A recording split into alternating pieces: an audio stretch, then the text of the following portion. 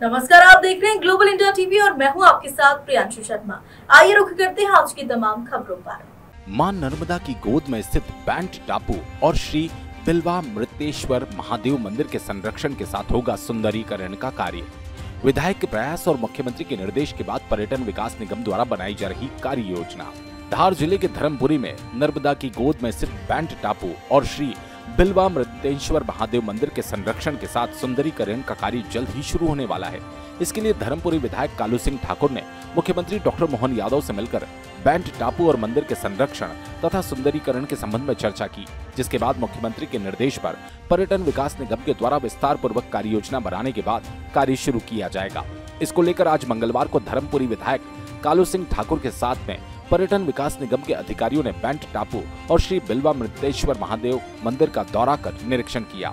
बता दें 2028 में लगने वाले उज्जैन सिंहस के पहले बैंट टापू और श्री बिल्वा मृतेश्वर मंदिर को संवारने का कार्य किया जाएगा, जिसमें टापू पर गजीबो स्नान घाट मंदिर के प्रवेश द्वार सुविधा, घर, पेयजल तथा मार्ग के सौंदर्यकरण के साथ बैंट टापू के संरक्षण आदि कार्य भी किए जाएँगे।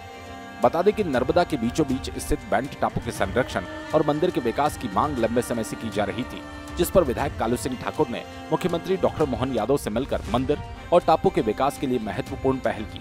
मुख्यमंत्री के निर्देश के बाद पर्यटन विकास निगम के अधिकारियों ने बैंट संस्थान का दौरा किया और वृहद कार्य योजना के साथ डीपीआर बनाकर जल्दी कार्य शुरू किया जाएगा।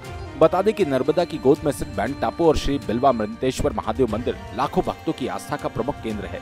जिसके संरक्षण, विकास को लेकर नगर वासियों के द्वारा लंबे समय से मांग की जा रही थी। मुख्यमंत्री डॉक्टर मोहन यादव के निर्देश के बाद भक्तों में बड़ी खुशी देखी जा रही है। इस दौरान पर्यटन विकास निगम के कार्यपालन यंत्री दीपक राज, धर्मपुरी विधायक कालू सिंह ठाकुर, विनोद शर्मा, राकेश कुमरावत सहित बड़ी संख्या में नगरवासी मौजूद थे।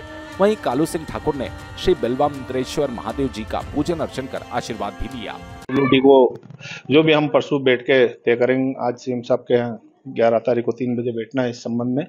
तो मेरा ऐसा आग्रह है कि इस भेंट के लिए कई साल से सब हमारे वरिष्ठ नेता और सभी हमारे पार्टी के और सब विभाग के अधिकारी मिलकर एक लक्ष्य बनाया है कि मांडव और धर्मपुरी, उज्जैन उसको एक कॉरिडोर के लिंक से जोड़ा है तो हमारा सीएम साहब से पूरा आग्रह था और उन्होंने जो कहा है वो करने का प्रयास और शुरू गणेश जैसे चालू हो गया है। अभी सर्वे डीपीआर कंप्लीट हो जाएगी।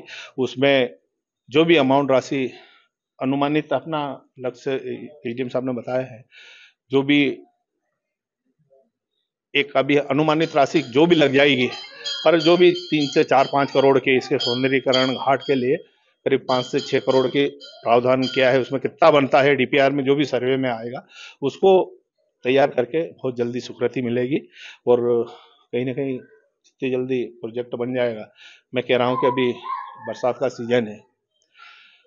बरसात के बाद मैं विश्वास दिलाता हूँ स्वीकृति करके यहाँ काम प्रारंभ कर देंगे और सब हमारे मनोज जी, महेंद्र भाई और सब हमारे जनता पार्टी के कार्यकर्ता और हमारी सरकार एक लक्ष्य बनाया है कि समय सीमा में इसका पूरा सौंदर्यीकरण और इसका जो नर्मदा का कटाव हो रहा संरक्षण के लिए, उसके लिए पूरा प्रयास करके अगले साल में मैं विश्वास दिलाता हूँ कि इसका काम पूर्ण कर और जो उज्जैन में सैंतीस साल अट्ठाईस, उसके पहले मतलब वो तो बहुत लंबा है, पर अगले दो वर्ष में इसको हम पूरा कंप्लीट कर और हम चाहेंगे कि जो सहस्त्र लगेगा, वहाँ के सब पूरे लोग धर्मपुरी को भी एक उसके माध्यम से जोड़ेंगे। उसी के उद्देश्य को लेकर इसको हम जल्दी तैयार करने के लिए पूरी प्रोजेक्ट बना के, अब इसके जो पीछे लगे हैं तो उसको हम पूरा करके ही छोड़ेंगे।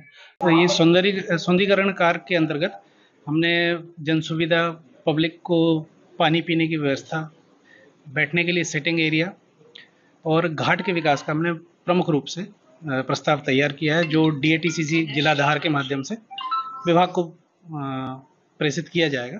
उसके बाद डीपीआर तैयार की जाएगी कार्य के लिए। क्या क्या कार्य होना है?